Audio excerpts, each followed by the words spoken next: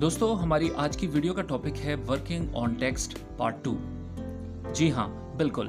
Working on tax इस topic के ऊपर एक वीडियो पहले बन चुकी है, जो पार्ट वन के नेम से थी और उसके अंदर हमने टैक्स के काफ़ी टूल्स जो हैं वो डिस्कस किए थे। तो वो दोस्त जो इस वीडियो को देख रहे हैं और इससे जो पहली वीडियो है, वो उन्होंने वॉच नहीं की है। तो मेरी, मेरा उनके लिए मशवरा है कि आप सबसे पहले जाएँ और इसका जो वर्किंग ऑन टैक्स टॉपिक के ऊपर हमारा जो पार्ट वन की वीडियो है, उसको पहले ज़रूर देखें ताकि जो प्रीवियस ऑप्शन है, वो सारे ऑप्शन उनको क्लियर हो जाएँ। और जिन दोस्तों ने और जिन स्टूडेंट्स ने प्रॉपरली पिक्सल लैब को मेरे साथ स्टार्ट किया है मेरे चैनल के ऊपर तो मेरा उनसे एक क्वेश्चन है कि आप लोगों ने अगर प्रीवियस जो वर्क आपने किया था, जो वर्किंग ऑन टेक्स टॉपिक के ऊपर पार्ट वन हमारी वीडियो थी, अगर उसके अंदर आपने तमाम कमांड्स के ऊपर प्रैक्टिस नहीं की है तो आप इस वीडियो को अभी ना देखें, ठीक है?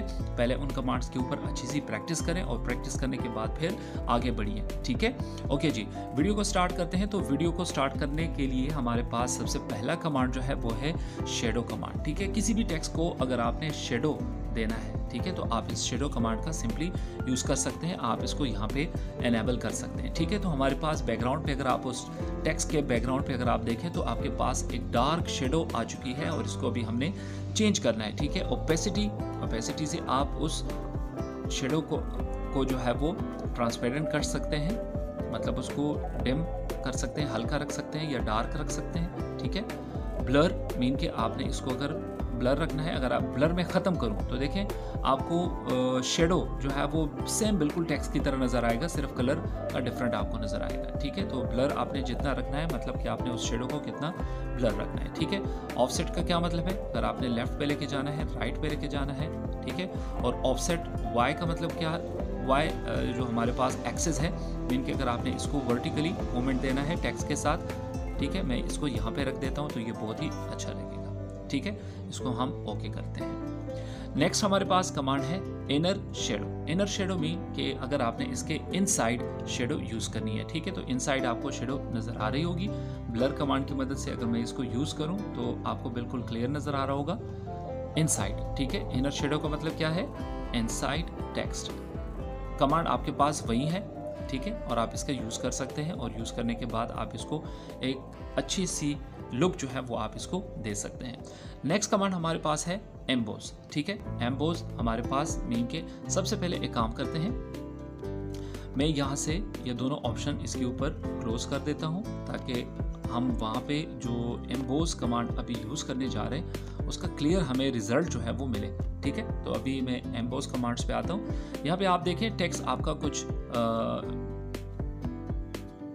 थ्री फॉर्म में कन्वर्ट हो चुका है। ठीक है? नीचे आते हैं, इसको चेंज करते हैं। ठीक है? अभी आपको इसकी लुक जो है वो प्रॉपर नज़र आ रही होगी कि यहाँ पे इन बोझ से हमारा टेक्स्ट जो है वो किस तरह, किस फॉर्मेट में चेंज हो चुका है और इसके अंदर हम यहाँ से कितनी चेंजेस जो है वो ला सकते हैं, ठीक है? अभी देखिए ये पाइप टाइप का एक फॉर्मेट जो है वो एक लुक जो है वो हमने अपने टेक्स्ट को दे दिया है तो आप अपनी मर्ज़ी से इन ऑप्शन को चेंज करके इसको एक अच्छी सी लुक जो है वो दे सकते हैं। तो बोझ से आपका टेक्स्ट उभरा हुआ जो है वो नज़र आता है, ठीक है? इसको मैं ओके करता हूँ। नेक्स्ट हमारे पास कमांड है परस्पेक्टिव परस्पेक्टिव से आप क्या कर सकते हैं? सबसे पहले इसको एनेबल करें। एनेबल करने के बाद आप इसको इस जो हमारे पास जो स्क्वेयर यहाँ पे रेक्टेंगल बना हुआ है और रेक्टेंगल के कॉर्नर्स पे जो भी सर्कल है, उन सर्कल की मदद से आप अपने टेक्स्ट को कोई भी शेप जो है वो आप दे सकते हैं, कोई भी एंगल पे आप उसको इस तरह शेप दे सकते हैं। ठीक है, मैं ओके करता हूँ तो मैंने कुछ इस तरह का शेप जो है वो इसको दे दिया है। ठीक है, इसको मैं अंडू करता हूँ। वापस हमारा टेक्स्ट जैसे ही था, उस शेप में मैं उसको ला चुका हूँ। नेक्स्ट हमारे पास है थ्री रोटेशन ठीक है? थ्री रोटेशन मीन कि आपने इसको एक तो हमारे पास नॉर्मल रोटेशन था, यहाँ से हमने रोटेशन इसको की थी, वो सिर्फ़ आपको एंगल्स मतलब सर्कल शेप में आपने उसको रोटेट करना होता है, लेकिन ये थ्री एंगल्स हैं मतलब एक्स एंड वाई ठीक है? बहुत ही ज़बरदस्त, ठीक है? इसको मैं क्लोज करता हूँ। थ्री डी टेक्स एनेबल करें इसको, ठीक है?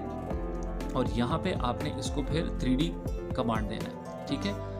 ओके जी, यहाँ पे एक छोटा सा मिस्टेक फिर है कि हम जाके एम्बोस कमांड को बंद कर देते हैं ताकि हमें यहाँ पे इस ऑप्शन की अच्छे से समझ आए और इस ऑप्शन का रिज़ल्ट हमें अच्छे से नज़र आए यहाँ पे, ठीक है? अभी आप देखें तो थ्री लुक में चेंज हो चुका है। नीचे आते हैं। अभी मैंने जो थ्री इसका बनाया है, उसको मैंने डार्क कर दिया है। अभी एक्स रोटेशन इसको मैं दे रहा हूँ, ठीक है? यहाँ से वाई रोटेशन पे हम जाएँगे और जेड रोटेशन पे हम जाएँगे। ठीक है?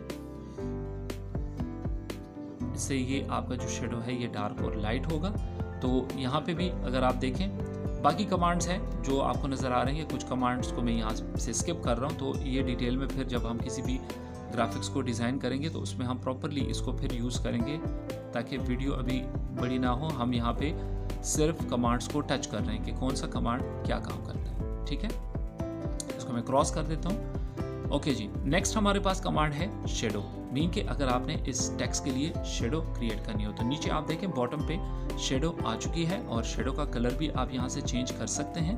ओपेसिटी से, वही कि इसकी ओपेसिटी अगर आप बढ़ाएँगे तो वो डार्क नज़र आएगा ओपेसिटी कम करेंगे तो वो लाइट नज़र आएगा। ठीक है ब्लर रेडियस ठीक है? इसमें जो अगर आप देखें तो ये भी उसी तरह तकरीबन काम करता है ओपेसिटी की तरह। एक्सपेंड मीन कि अगर आपने इसको बढ़ाना है शेडो को, जो स्पेस है शेडो का, वो अगर आपने बढ़ाना है तो आप बढ़ा सकते हैं। लेकिन टेक्स के नीचे मतलब जितना टेक्स का साइज़ होता है, जितनी टेक्स की विड होती है, और अगर उसी के बराबर आप शेडो को रखते हैं तो वो ज़्यादा अट्रैक्टिव नज़र आता है। ठीक है? उसको हम क्लोज करते हैं। लास्ट कमांड हमारा जो यहाँ पे है, वो है रिफ्लेक्ट रिफ्लेक्ट मीन कि अगर आपने इसका कुछ इस तरह रिफ्लेक्ट टेक्स्ट बनाना हो जिस तरह यूँ समझे कि आपका आ, अगर नेक्स्ट टाइम मैं अभी से आप लोग को एक आइडिया दे देता हूँ कि अगर आपने वाटर के ऊपर कोई ऐसा इफ़ेक्ट बनाना हो ठीक है? कोई टेक्स्ट आपने लिखना हो कोई इमेज आपने लिखना हो और उसका रिफ्लेक्ट आपने पानी के अंदर वाटर के अंदर बनाना हो तो वहाँ पे ये कमांड आपके बहुत काम आएगा। और वो ऐसा नज़र आएगा कि आपने ये टैक्स वाटर के ऊपर लिखा हुआ है या कोई ग्लास आपके पास है ग्लास के ऊपर आपने वो टैक्स लिखा हुआ है तो उसका जो ऑटो रिफ्लेक्ट है, वो तो नहीं बनता, लेकिन आपने यहाँ से वो उसका जो ऑब्जेक्ट आप यूज़ कर रहे होते हैं ऐसी जगहों पे तो उसका रिफ्लेक्ट आपने फिर यहाँ से बनाना है, ठीक है? बहुत ही ज़बरदस्त इफ़ेक्ट है आपके पास, ठीक है? उसको हम ओके कर देते हैं, ठीक है? तो दोस्तों, ये हमारे पास टेक्स्ट ऑप्शन थे और उम्मीद है कि आपको ये सारे टैक्स ऑप्शन इसका आपने यूज़ किया होगा और अच्छे से यूज़ करें इसका और अच्छे से प्रैक्टिस करें। क्योंकि मैंने शुरू की वीडियो में आपको बताया था कि अगर आपने छोटे से छोटा कमांड भी अगर स्किप किया, उसको मामूली समझा तो हो सकता है कि वहीं जो जिस कमांड को, जिस ऑप्शन को आप मामूली समझते थे, वो आपको आगे जाके किसी भी ग्राफिक्स को क्रिएट करने में आपको प्रॉब्लम क्रिएट कर सकता है, ठीक है?